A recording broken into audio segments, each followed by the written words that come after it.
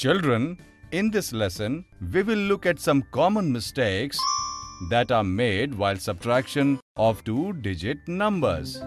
One day, while walking around, Bhola and Golu Panda reached the confusing village of mathematics. A lot of treasure is hidden in the village. But to get it, they will have to solve the confusing puzzles of this village. They saw this subtraction written on a tree. Children, is this subtraction correct? You guessed it right. This subtraction is incorrect. Will Bhola and Golu be able to solve this correctly? Let us see. Bhola observed that in this subtraction, three ones of 23 were being subtracted from four tens of 47. Another mistake has been made by subtracting the two tens of 23 from the seven ones of 47. Now Bhola erased this wrong answer and subtracted the three ones of 23 from the seven ones of 47. Then, after subtracting two tens from four tens, he wrote the answer as 24. Children, is Bhola's answer correct? Yes, Bhola's answer is absolutely correct. As soon as Bhola wrote the answer on the tree, lots of golden flowers began showering down the tree. Now Bhola and Golu saw a well. This puzzle was written on the well. Children, is this subtraction correct? Yes, there's a mistake in this subtraction. Can you identify the mistake here? Absolutely correct. Here we cannot subtract the 6 ones of 36 from the 5 ones of 85. So, we have to borrow 110 from the 8 tens of 85. In this subtraction, by borrowing, 6 ones have been subtracted correctly from 15 ones. But after borrowing the 110, they forgot to reduce the 8 tens to 7 tens. So children, what will be the correct answer to this subtraction?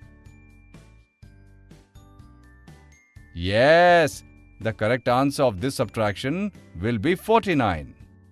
Golu erased the wrong answer and wrote this correct answer on the well.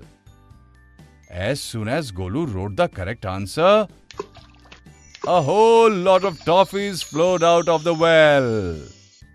Hmm. Golu ate a lot of toffees. Now Golu and Bhola were tired. They wanted to go home.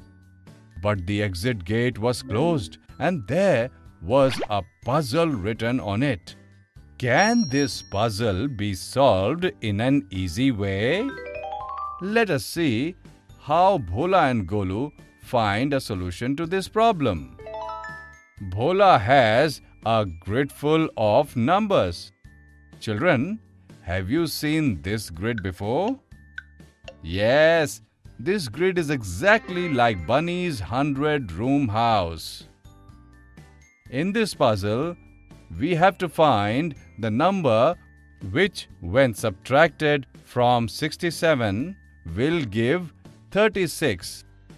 Bhola first took one jump down from 67 on the grid and thus by subtracting 10 he reached 57. Now he made another jump down and then subtracting 10 again. So which number did he reach? 47. Absolutely correct. Now he finally took another jump and reached 37 on the grid. Children, now how will we reach 36 from 37? Yes, we have reached 36 by walking one step towards the left. In this way, using the grid, Bhola went 31 steps back from 67 and reached 36. Bhola wrote the number 31 in the blank space. As soon as the gate opened, there appeared a shining car in front of Golu and Bhola. They sat in the car and returned home happily. Children, in this lesson, we saw some common mistakes that were made while subtracting two-digit numbers.